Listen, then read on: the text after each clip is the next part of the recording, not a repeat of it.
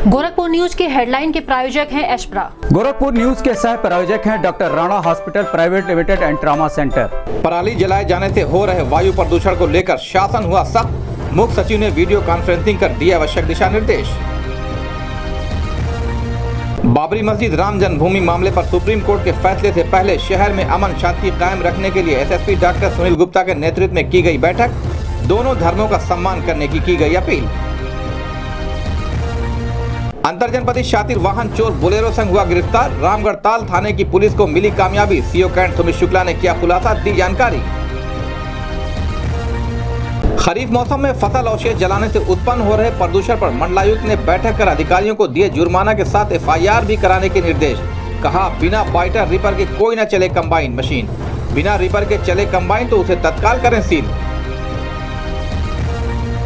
दो दिवसीय गोरखपुर दौरे पर पहुँचे ज़िले के नोडल अधिकारी एडीजी एटीएस डी के ठाकुर, पुलिस लाइन और जिला जेल का किया निरीक्षण, दिए निर्देश। लोकसभा चुनाव को सकुशल संपन्न कराने पर जिला अधिकारी, जिला निर्वाचन अधिकारी ने उत्कृष्ट सराहनीय कार्य करने वाले अधिकारियों, कर्मचारियों को प्रशस्ति पत्र देकर किया सम्मानित।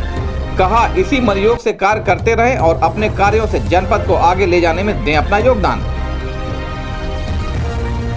एडीजी एटीएस ने अभियोजन प्रशासनिक एवं पुलिस अधिकारियों संघ की बैठक। अभियोजन संबंधित विषय पर की चर्चा, दिए समस्याओं के निराकरण करने के निर्देश।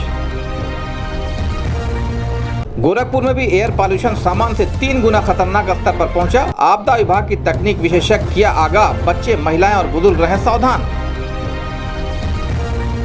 गोरखपुर विश्वविद्यालय में पंद्रह दिवसीय पुनश्चर्या पाठ्यक्रम का हुआ शुभारंभ। इंफॉर्मेशन टेक्नोलॉजी और कम्युनिकेशन विषय पर हुआ व्याख्यान। नोडल अधिकारी ने पुलिस के राजपत्रित अधिकारियों और डायल हंड्रेड कर्मियों के साथ की बैठक, दिए आवश्यक दिशा निर्देश। जिला जेल प्रशासन की बड़ी लापरवाही हुई उजागर। मुलाकातियों की भीड़ को रोकने की वजह से जेल परिसर के बाहर मची भगदड़ उठानी पड़ी दिक्कतें।